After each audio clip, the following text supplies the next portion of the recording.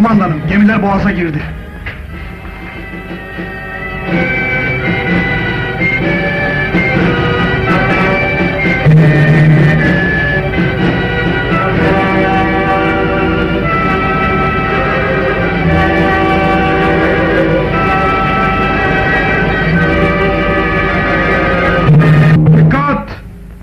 Dardanos bataryası! Düşman donanması boğaza girdi.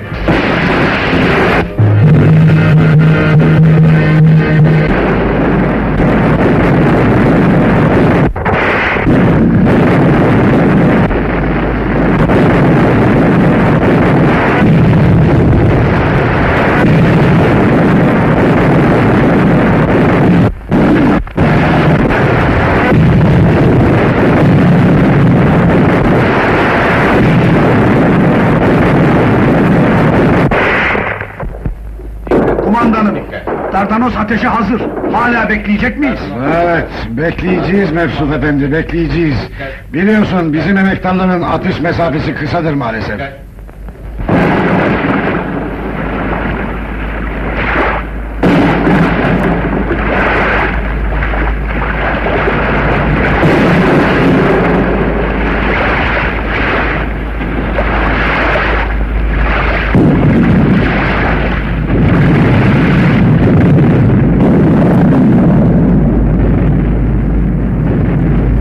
Mesafe 10.500.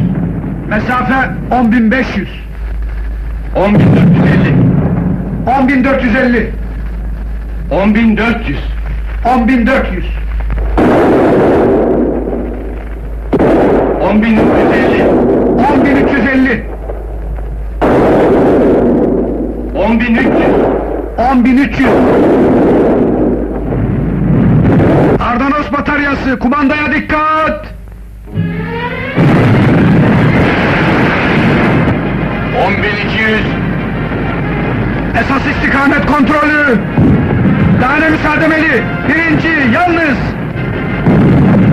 Dördüncü barut hakkı, 10.200! Trap zaviyesi, zayit 27! Kumandayla ateş! Birinci, deş! Bismillah!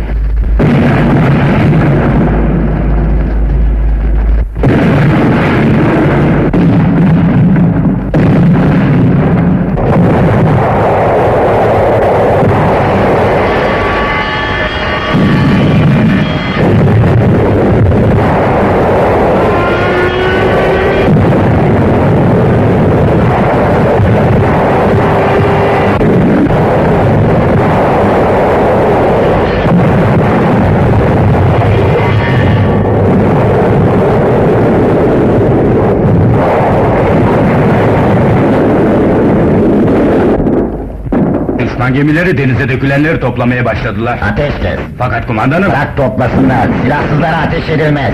Ateş kes.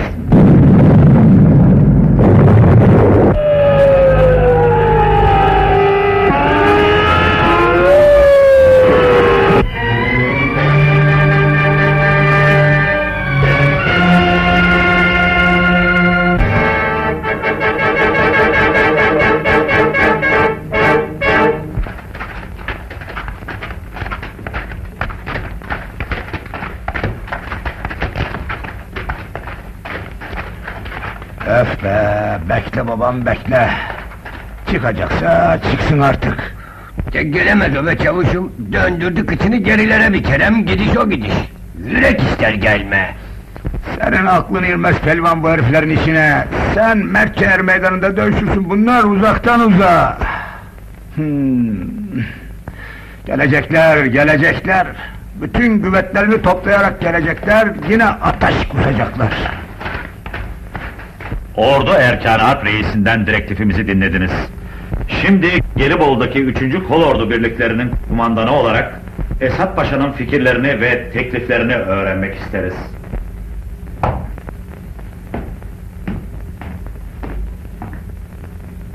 Müşir Lehman von Sandres Hazretleri.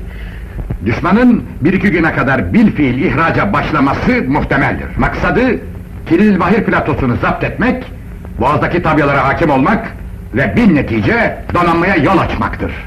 Bunun için esas ihraç merkezi sikletiyle Seddül Bahre, tali ihraç ise Kabatepe ve Arıburnu bölgelerine yapılabilir.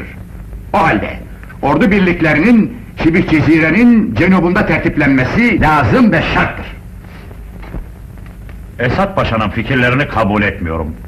Donanmanın üstün ateş desteği altında düşmanı karaya çıkarmamak mümkün değildir.